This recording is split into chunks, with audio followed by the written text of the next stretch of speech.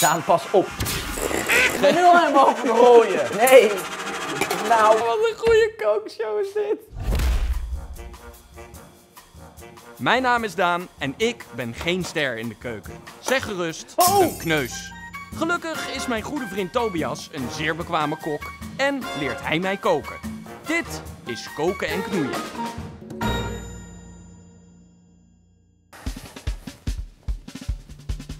Hartelijk welkom.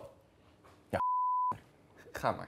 Hartelijk welkom bij Koken en Knoeien. Het programma waar ik ontzettende kansloze losers in de keuken help om nog een beetje iets ervan te kunnen maken. En we hebben nu de paaseditie, want ik heb drie hartstikke lekkere paasrecepten voorbereid. We gaan En beginnen. het leuke aan het programma is dat ik ook een hele belangrijke rol vervul, want nieuw in koken en knoeien, Daans stylinghoekje.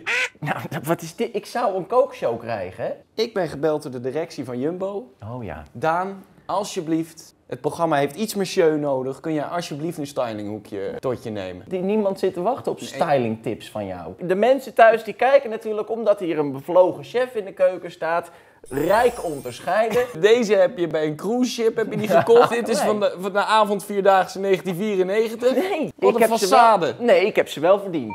Oh, wacht, de bel. Gaat helemaal geen bel. Kijk, de Jumbo die bezorgt ook thuis, lieve mensen.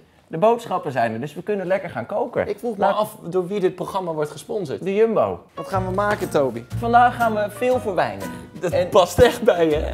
Dat bepaalt de sponsor. Nou, we gaan veel voor weinig en dat vind ik ook helemaal niet moeilijk of gek. Want het leuke is namelijk dat als je zelf dingen vanaf scratch maakt, dat je dan ook helemaal niet zoveel geld kwijt bent. Is het makkelijk? Want eh, anders geef ik nu Het op. is veel voor weinig, niet makkelijk. We gaan merengues maken met gebrande suiker, dust Ja, je bent mij al kwijt. en vers fruit.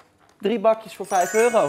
Voor de merengues, daar beginnen we mee. We hebben nodig 120 gram suiker, kristalsuiker. We hebben een eh, keukenmachine of een garde, dat kan namelijk ook. Daan gaat demonstreren. Waarom heb ik een garde? Als je zo rijk onderscheiden bent, dan heb je uiteindelijk een mooie machine verdiend. Verschil moet er wezen. We beginnen. Twee eieren. Is je kom ontvet? Weet ik veel. Nou, dit deed je gewoon ja. puur om even te laten horen. Oké, dan gaan we de, de eieren. Ja, Waarom lach witten- je? Nou, omdat ik al weet hoe dit gaat bij jou. We gaan de eiwitten vangen in de kom en de eigeeltjes hierin. Daar gaan we. Oh, flip. Uh, moet ik eiwit hier? Het eiwit moet daarin. Ja, dat gebruik je voor de merengue. Zeg je dat mooi, meringue. Merengue. Nou, dit knippen we er even uit. Gaat het niet goed met jou? Ja, Ik wil ja. heel graag een herhaling. goed zo. Oh, wajo! Gelijk, gelijk. Moet ik kijken. Heel goed, Daan. Helemaal- Heeft hij het clean gedaan? Volgens mij niet. Had je je handen gewassen? Nee. Oké. Dan gaan we nu het eiwit kloppen. Dat is eigenlijk heel eenvoudig. Je zet de keukenmachine aan en de keukenmachine doet het werk. Kneusjes moeten dit met de garde doen. Dat het helemaal stijf is. Je moet uit je pols komen. Nee. Tjak, tjak, tjak, tjak, tjak. Wat een werk. Dit gaat hartstikke goed hier met de keukenmachine. En als het ehm, eiwit mooi is opgeklopt. Kijk, dat ziet er zo uit. Wolken. Witte wolken. Ik zeg echt een lamme arm, man. Ja, even doorkloppen, Daan. Doe jij even. Man. Wat zet je daar dan ook neer? Ja, dat zijn de bakblikken voor zo, Daan. Nou, het is op low. Wat is dit nou? We hadden een klein handmixertje, omdat ik wist dat je zou gaan miepen. En nu is eigenlijk de, de echte kok komt nu in beeld. Want dit is, Lo, Lo bereidt eigenlijk alles voor en jij komt hier alleen maar binnenlopen met je medailles. Kijk, heb je nog meer tips? Gewoon goed schuin houden. Ah, wat geef je goede tips. Dankjewel. Sommige mensen wel. Ja, nee, ik vind het echt lief hoe je mij eh, gewoon op waarde schat en gewoon aardig doet. Ik hoop dat ze in de schrift gaan. Mag je nu de suiker toe gaan voegen? Alles? Ja, eerst de helft maar. De andere suiker mag erbij. Je maakt er zo'n smeerbol van. Jezus, het wordt echt helemaal zo stroperig. eh. Nou, zet maar uit. Heel goed. Dan gaan we nu verder met het toevoegen van smaak. Er moet altijd een snufje zout in een zoet gerecht. Erbij. Wat is een snuf? Ja, gewoon snuf. Snuf. Zo. Nou, pas! Ja, Nou, nu ga ik het hier neerzetten ook. God, die la open. Nou, dan blijft...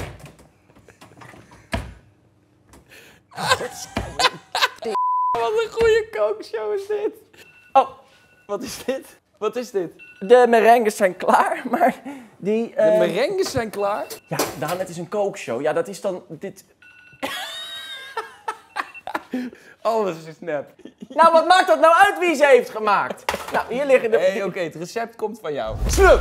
Nou, en dan pakken we nu de citroen. Niet doen, dit vind ik zo goor. Dus nu zit er zo'n speeksel in de merengue. Ze zijn toch al af, we kunnen net zo goed stoppen. Nee. Dan nemen we het, het raspje. Ja. Zo, alleen het geel, niet het wit. Dus elke keer een vers stukje. Zit, tik. Dan pak je je mes. Daan, pas op, want dit zijn hartstikke scherpe, hele mooie messen van de Jumbo. Nou, het is leuk met een volle spaarkaart. Dan kun je zo'n prachtig Zwitsers mes, kun je dan voor een eurotje. Eurotje, mes. Maakt dan niet uit. Euro? Ja, dat is bij onze vrienden van de Jumbo, hè. Dan snij je ongeveer een derde, dus een kontje. Oh! Ja, je knijpt het in je hand en je vangt eventuele pitjes even op met je vingers. Oké, nou dan gaan we nu alles nog één keertje doorkloppen. Niet doen! Oké. Oh!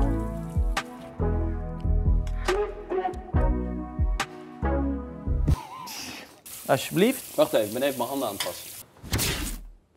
Ehm, dan zetten we het bakblik neer. Dan leggen we een bakpapier. Dan gaan we nu canelles maken. Ah nee, met die...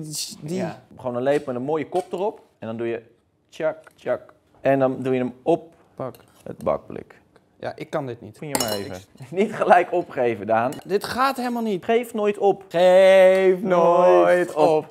Geef nooit op. Ik voel me net Balotelli die een voetbalhesje aantrekt. Ik snap het gewoon niet. Ik kap er maar. Ah, shit. We kunnen ze heel eventjes naast elkaar houden. Dit is gewoon puur Ja, maar kijk, de reden dat ik deze medailles heb, is omdat ik dit dus... Daar heb je gelijk. Ja, dan gaan ze nu de oven in. En heb- je moet dus de oven voorverwarmen op 100 graden. En dan gaan ze twee uur in de oven. Oké. Nou, twee uur verder. Oh! Nou, kijk, en dan, dan mag, je, mag je het even proeven. Chewy zijn van binnen, zie je dat? Oh ja. Nou, dat is wel echt lekker. Dan denken jullie, we zijn er, maar nee, nu gaan we echt het gerecht bouwen. hè. Dus deze zetten we nog even opzij. Vers fruit, drie bakjes voor 5 euro. We gaan eh, het fruit afdusten. Dus gewoon een poeder eroverheen van gekarameliseerde suiker. En dat gaan we nu maken. Eh, we gaan dus nu suiker smelten. Pas op, want de suiker wordt eh, 160 graden. Dat is ook voor jou, Daan. Waarom gaan we dit dan doen? Spannende televisie. Ja, oké. Dus ik pak even dit. Dan gaan we dit aanzetten. En dit gaat een gevecht worden, dat weet ik nu al. Godzie. Hallo. Nou, nu, ja, nu zit het op 9. Gaat het? Nee. Oké, nou jij mag het straks doen. Oké, snel de suiker erin.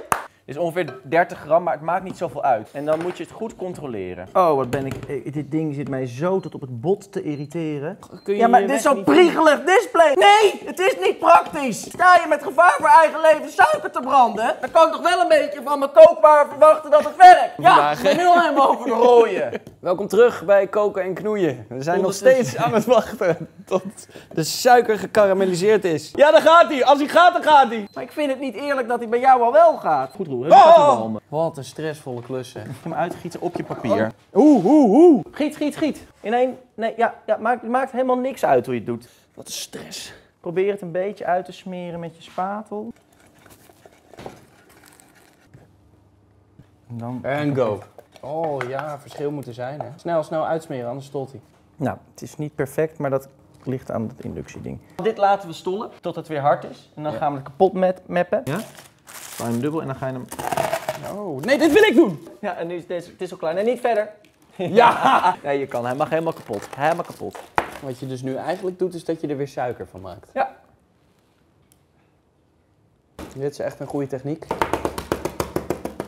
Oké, ik ben wel ready hoor. Ik ben wel mooi geweest. Oké, eh, dit zetten we even opzij voor zo. Dan gaan we nu beginnen met pleten. En dan beginnen we met het fruit. 5 euro voor drie bakjes.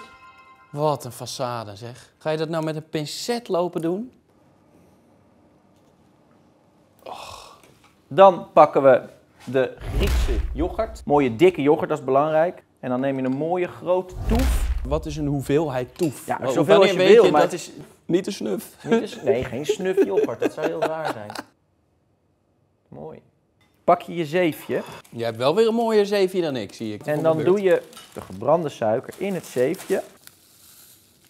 En dan tik je zo even op, ik idee mooi eroverheen. Ja, dan mag jij een merengue van mij pakken. Nee, niet die. Waarom? Die wilde ik. En dan breek je hem Ja. overheen. Zo, pap. En dan erop. Ja, oké. Niet die. Donder op, joh. En daar hebben we hem dan. Vers fruit met merengue, yoghurt en gekarameliseerde suiker. Dit is hem. Dit is hem. Mmm. Ja, het is echt lekker. Wil je ook? Ik ken het al. Je kent niet die van mij. Nee, maar ik heb een vermoeden. Normaal gesproken moet je dan omschrijven wat je proeft in plaats van, oh lekker. Het is romig. Het heeft toch een fi- fijne bite door die merengue. En die gekarameliseerde suiker geeft het net even die extra diepgang. Het maakt echt Pasen in je hoofd. Maar nu, nu is het tijd voor de paasstyling. Ja, nou. Welkom bij Styling met Daan. Waar ben ik dan in deze hele situatie? Hallo, ik sta hier voor jou en jij leert hier koken. Ik kon dit al. Ja, nou, ik leer jou stylen. Want die graftombe van jou kan ook wel wat kleur gebruiken. Nou, ga dat maar laten zien, Daan. Even kijken, Wat heb je voorbereid? Eh, Kar, waar is... Waar is eh, kun jij mij heel even influisteren wat eh, de styling Wat is dit dan? Ja, eh, ik, ik heb dit in samenwerking gedaan met eh, Samenwerk, wat zit er in het krat? Zonder te kijken? bloemen, tafelkleed, spullen. Jij staat er ook met je medailles. Het thema van deze tafel is natuurlijk precies hetzelfde als het gerecht. Het is veel voor weinig. Kijk, dit is al heel leuk. Nu heb je een goede basis. Ah, zo. Bestekjes, kommetjes. Hè, Je wil echt met je familie wil je genieten. En eh Kar, wat, eh, wat is het thema wat je een beetje hebt eh, doorgevoerd? Ja? Wie, wat gebeurt hier nou, Daan? Ah, leuk. Ja, heel leuk. Het zijn, eh, het zijn haantjes. Zo. Die houden je hier nou voor de gek, want de mensen thuis snappen ook wel dat je dit Het is met hulp van Car. Nou, kijk, dit is ook leuk toch? Dit is toch snoezig? Zullen we even een knip maken nadat hij vol is? Ja, kom je aan mijn gedekte tafel? Ja, prachtig, Daan. Wat heb je dit schitterend gedaan. Helemaal zelf? Ja. Nou, ik ben echt diep onder de indruk. Wil je een beetje koffie? Nou, Op zalig, Pasen. eh, zalig eh, paasfeest. Moet je het nog even proeven of... eh, Mm. Oh. Wat is er? Heb je pijn ergens? Nee, ja, wat een heerlijke, Romige, chewy, knisperende, eh, fruitige, mierzoete, verrukkelijke, overheerlijke, professioneel bereiden, in dit geval dan, crunchy, zalige, hemelse. ja, paasmerengue. Nou, wil je dit recept nou ook? Klik dan even op de link in de beschrijving.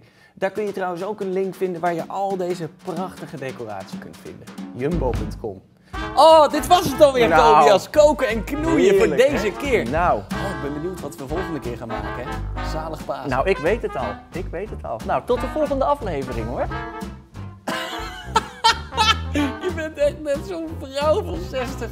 Tot de volgende aflevering hoor. Dit was echt goed man. Dit was echt zo'n koffietijd.